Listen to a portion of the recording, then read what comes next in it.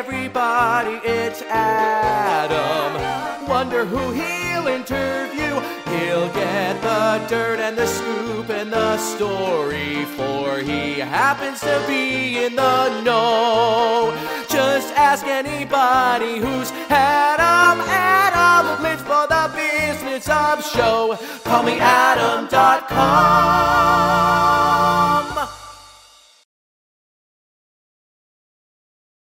Hey guys, it's Call Me Adam, and we are here live at Shadow Boxers in New York City with Stephen Land, who is the creator and founder of the new calendar Real Men Wear Pink, which is a calendar that Stephen created in response to his mom's diagnosis of stage 4 breast cancer.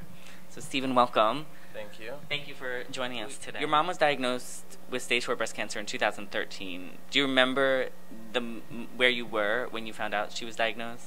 Um, I was actually at work on my way to lunch, and I got a call from my dad, um, and I like couldn't eat my lunch. Um, he, all my family lives in Arizona, and I'm in New York, so like it's hard to do it any other way than over the phone, Mm-hmm. um, which isn't fun at all. No, no, it's not. Yeah. Did you then go home to Arizona, or did you have commitments that forced you to stay here and you couldn't get home right away? Um, well, she was diagnosed in October of last year, um, and I was scheduled to go home for Thanksgiving, so I already had that scheduled to go. So I wasn't able to actually get away very quickly. So I had to wait till Thanksgiving to actually see her and hear everything in person. So I had a whole month of thinking about what's happening and what's going on before I actually got all the details. And what was it like during that month when you really didn't know everything and you just had all the thoughts running through your head? And then what was it like when you got home? Was it what you were thinking about, or was it different than what was going through your head? Well, the whole month was kind of all over the place. Um, I had a bunch of friends here who I was able to talk to. Um, I have a friend who's actually the host of the release party, Paige Turner, whose mother uh, pa- passed away from breast cancer. And so she had to go through the whole process. And so she really helped me with kind of dealing with everything within that month before I even went home.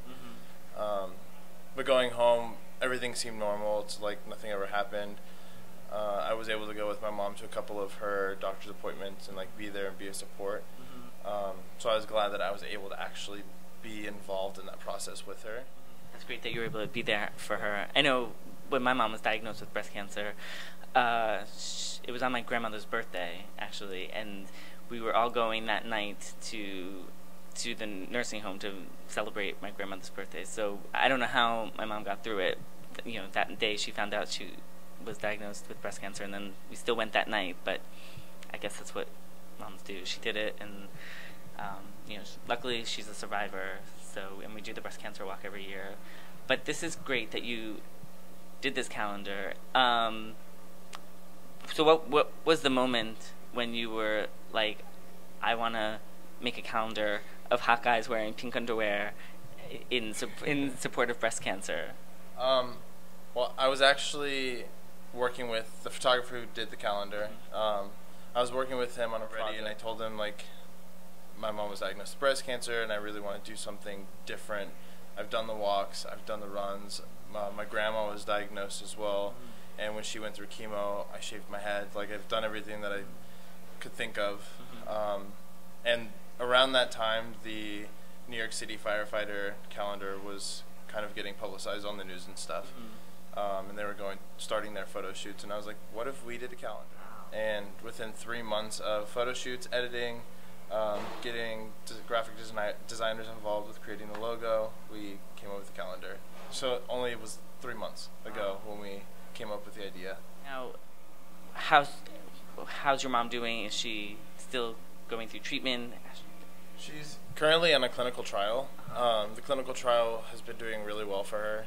Um, she, when she was first diagnosed, she had cancer almost completely through her whole entire body. So it spread very quickly. Um, but they can't find it anywhere at all below her pelvis anymore. Um, so it's slowly going away, Um, but she's kind of at a plateau right now where they're kind of debating on if chemo is a way to go or not. Mm-hmm. Um, but it's been over a year and chemo hasn't been an option yet, mm-hmm. so we're grateful for that.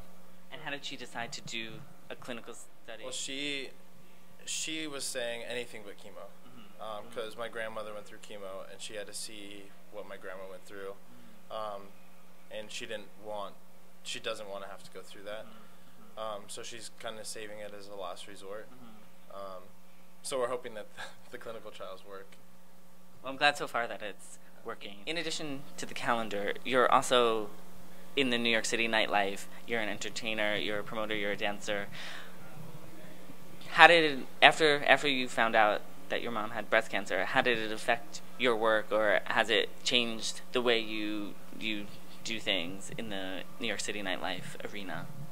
Well, for me, the calendar kind of shines light on all of that because everyone in the calendar, except for one person, is involved in New York City nightlife. Mm-hmm. Um, so for me, it actually motivated me to bring everyone in the nightlife scene together, from the circuit boys to the local go-go dancers to the models to porn stars to um, the promoters and bring them all together into one community for a common cause. On October 22nd, you are having the release party for the Real Men Wear Pink calendar here at Shadow Boxers in New York City. Yes. In addition to the male breast cancer survivors that are going to be your VIP guests, what else can you tell us is going to happen at the release party and how can people come to it?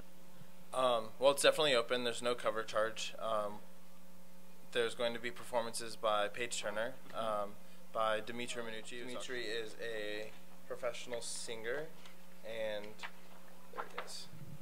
Um, and he's going to be performing as well.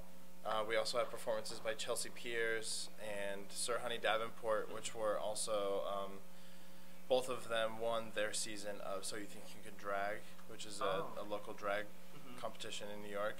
Um, so we'll have them as well, and then all of the boys will be doing a runway um, show in some nice pink undies. Oh, nice. Oh, then it'll definitely be quite an evening. Yeah. But it's definitely it's free to get in. We're gonna have raffles and a silent auction to help raise even more money uh, for the cause. That's great. That's great. Well, everybody watching is definitely going to get their calendar, realmenwearpinkcalendar.com. You can pick up your calendar, and all the proceeds go to the fund. Um, and you'll get to see Stephen right here, who's clothed. You'll get to see him very nicely unclothed as Mr. April, uh, along with all the other models. And come to the release party on October 22nd, uh, right here at Shadow Boxers in New York City. I'll have all the information on my site on Call Me Adam.